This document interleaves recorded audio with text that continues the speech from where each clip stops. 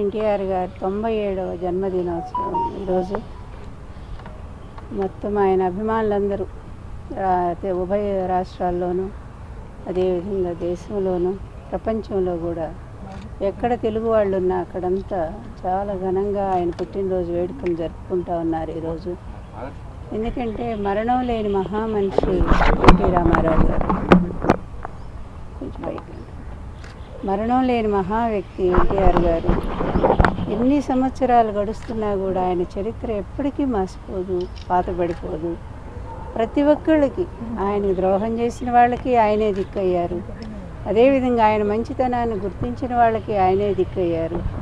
ఎవరికి? ప్రతి ఒక్కళ్ళకి ఒక రోల్ మోడల్గా ఒక ఐడియల్గా ఒక గొప్ప ఆదర్శవాదిగా గొప్ప నేతగా గొప్ప నటుడుగా చిరస్థాయిగా తెలుగు జాతి ఉన్నంత వరకు కూడా ఆయన చరిత్ర తెలుగు వాళ్ళ గుండెల్లో ఉండిపోతుంది. అయితే ఆశ్చర్యం ఏంటంటే ఆయన మరణించారని ఎవరు నమ్మట్లే ఇప్పటికి కూడా.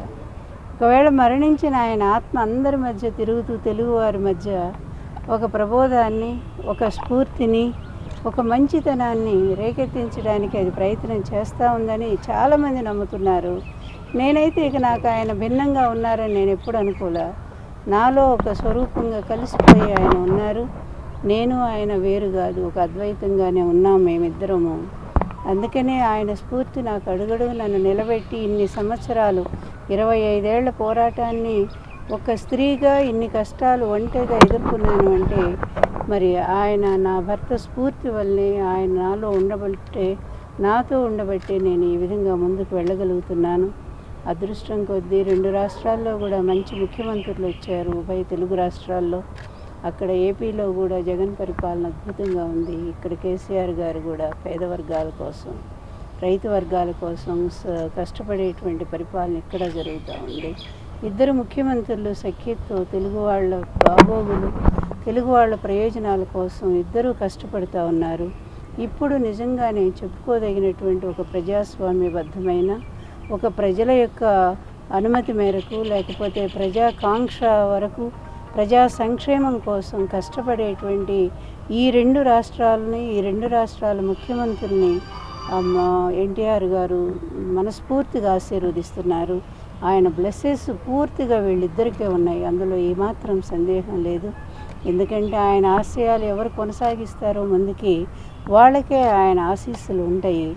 అందుకనే ఈరోజు ఆంధ్రప్రదేశ్లో కూడా రెండు రూపాయల కిలో బియ్యం పథకం కానివ్వండి అదేవిధంగా పేదల సంక్షేమ అమ్మఒడి పథకం కానివ్వండి లేకపోతే మరొకటి మరొకటి విద్య వైద్యము ఎన్నో రకాల అసలు రైతులకైతే ఎన్ని రకాలు చేస్తూ ఉన్నారంటే జగన్ ప్రభుత్వం. అన్ని రకాలు కూడా అటు వైఎస్ రాజశేఖర రెడ్డి గారు ఇటు ఎన్టీ రామారావు గారి ఆదర్శాన్ని ఆయన పుణికి పుచ్చుకొని ఆ రెంటిని కూడా ముందుకు తీసుకెళ్తూ ప్రజల ఆమోదాన్ని పొందుతున్నటువంటి ప్రభుత్వం అక్కడ. ఇక్కడ కూడా ప్రజల ఆమోదంతోనే రెండుసార్లు ముఖ్యమంత్రిగా గెలిచి తెలంగాణ ప్రజల్ని గుండెల్లో పెట్టుకొని చూస్తున్న కేసీఆర్ గారి పాలన. రెండు ఇప్పుడు చాలా సంతోషంగా ఉంది. ఎన్టీఆర్ గారి ఆత్మ చాలా సంతోషిస్తుంది. అదేవిధంగా ఈ కరోనా బారి నుంచి మొత్తం ఈ రెండు రాష్ట్రాలే కాదు ప్రపంచవ్యాప్తంగా ఎవరైతే దీని బారిన పడి అనేక బాధలు పడుతున్నారో వాళ్ళందరినీ కూడా ఆ భగవంతుడు రక్షించాలి తప్పనిసరిగా. తొందరలోనే మన ఉభయ రాష్ట్రాలు కూడా బయటపడి కరోనా నుంచి ముందు ఎంతోమంది పని లేక అల్లాడిపోతున్నారు. వలస కార్మికుల దగ్గర నుంచి అదేవిధంగా అమ్ముకు ఉత్పత్తులు లేక ఇటు వ్యాపార రంగాలు అటు రియల్ ఎస్టేట్ అన్నీ కూడా కుదేలైపోయినటువంటి పరిస్థితుల్లో మరి అనుకూలమైన పరిస్థితులు తొందరలోనే వచ్చి అందరికీ కూడా మళ్ళీ న్యాయం జరగాలి దేశ ఉత్పత్తి పెరగాలని మనస్ఫూర్తి కోరుకుంటున్నాను.